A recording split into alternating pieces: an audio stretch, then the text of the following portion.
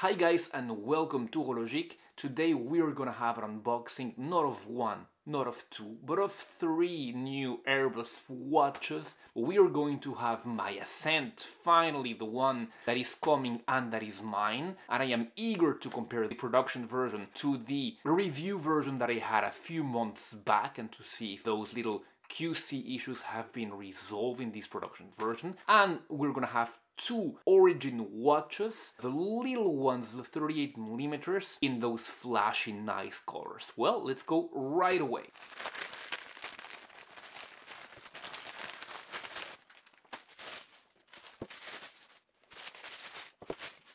Very very nice as you can see little box which will cover the watches right how they need to be covered let's go check this first box right away and yes Hello, there you go. And here you've got Jody and his pal Stevie with whom they made this company. And let's go, you've got a screwdriver, very small screwdriver and an Erebus signed cloth, very cool. And the watch itself. Yeah, he's me the black, not exactly the flashiest of them all, but yeah, very. You still have a touch of red in that second's hand and in the outer part of those indices. Let's take all the plastic from this one.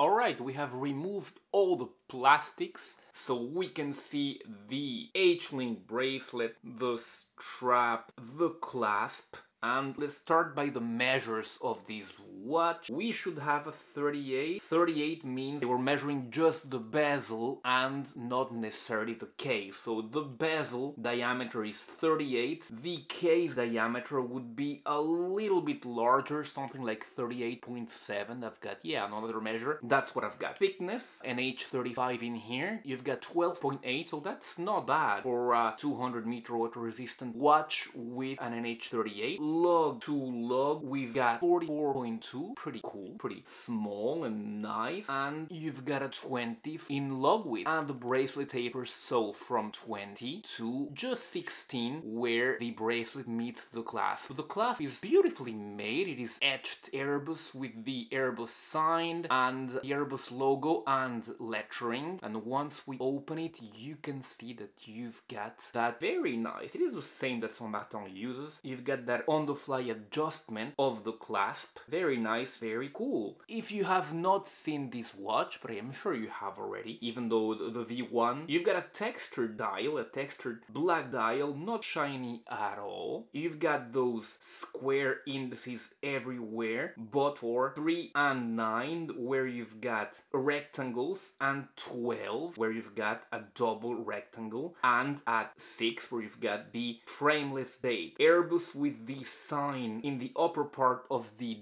dial and origin 20 ATM at the bottom. Quite well made. A lot of people complain about the Erebus saying that it is a little bit simple, a little bit vanilla. I think that everything is well made in here. You even have in the case, if you look at the case, it is polished everywhere like a tool watch pretty much all the time is or should be some would say. Even the chamfer is polished as well, see? On top of logs you've got regular vertical polishing. On the chamfer, you got a horizontal polishing, if you can check that. And on the sides of the case, you've got vertical polish as well. Very nice. Let's see how the bezel rotates.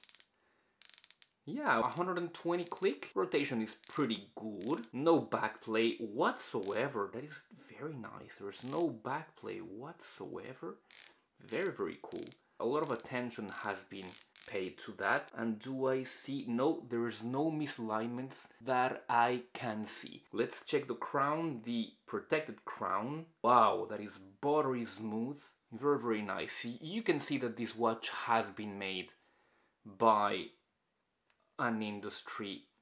This this watch has been made with a lot of love from people who know and understand that these things are very important for us aficionados I forgot to tell you about the quick release feature of this bracelet. Great, great. I also know that this bracelet has kind of a trans end link because it is neither male nor female. It poses as a female, but it is actually a male because you cannot bend it as you see. It stays in place like that. So it looks like a female, but it is actually a male end link. So the actual end link to end link is 49.5 millimeters. So there's two left. I already pre-checked them. So here is the purple origin. It is exactly the same watch, but for that purple. Let me just remove these. Take a look at that dial. Isn't that interesting? Well, I know the crystal is sapphire, of course, what else will it be? But the bezel insert looks like something else. The bezel insert is sapphire as well. Isn't that cool? Take a look at that sunburst. This is definitely my favorite. Maybe because I've got a lot of of black watches, but this is definitely something else. Apart from the dial and bezel color, it is exactly the same watch. So yeah, just know that, but this looks actually really cool. I thought it would be a bit flashy, but you know, it is a bit flashy. Not too much, that sunburst is pretty restrained. Nothing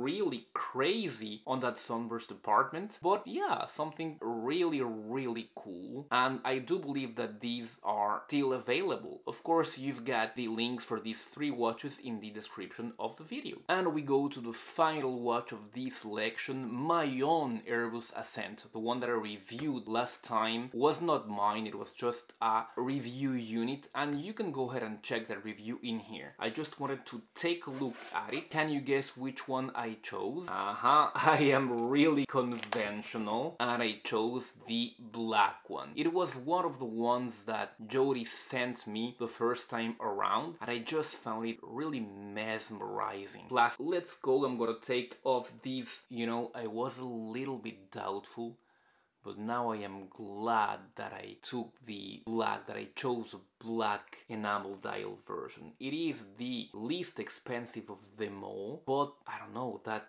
black enamel is just really shiny and uh, it is really really a well made watch. And it gives just a great first impression of quality and refinement. When you check this watch it look at how it shines look at all the surfaces look at all the light play with all those great reflecting parts. Yeah you've got the same clasp as with the uh, origin but besides from that it's pretty much the same thing they've got in common. This is a GADA go anywhere do anything watch but it could double up as just a very classy dress watch. Very very nice. The negative point that I see is that you wouldn't want to scratch it. And if I zoom in and look at those indices in macro I do not see any debris. So I think they have taken care of that small small QC issue that I saw at least on my test version in these production versions. That is very, very nice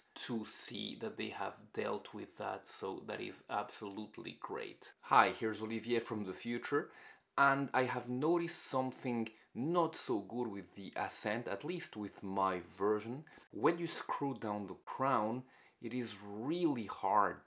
It is maybe just my version here, my unit here, but somebody else commented upon it. I've spoken about it to Jody who told me to keep him updated, but if you notice this pattern in yours for the people who have bought it, please do let me know. But many people have responded and just one complain about these except for me but do let me know if this happens also for you if you want to see the review of this watch don't forget to check the video the full review of not only this version but many many other versions. Check that in the link of the description. I'm gonna leave you right here with some other great watches that you can check. Thanks again and I'll be seeing you very soon. Goodbye.